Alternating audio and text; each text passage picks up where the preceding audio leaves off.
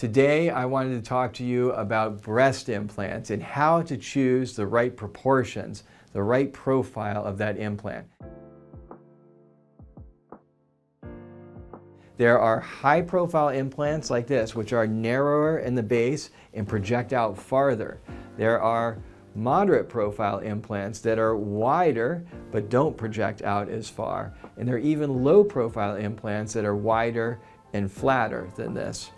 So how do you choose between these different implants? If you have a narrower chest, you're probably going to want a higher profile implant, especially if you're going for a larger breast size.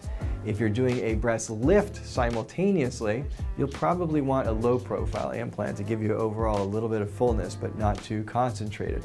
And if you're somewhere in between, like most patients, you'll probably end up with a moderate or a moderate plus profile implant to achieve your most natural result. But you have to think about the body type of the patient, the size increase that is sought in, in, overall volume, as well as the proportions that implant to choose the best implant for you. This is Dr. David Stoker, board certified plastic surgeon in Los Angeles.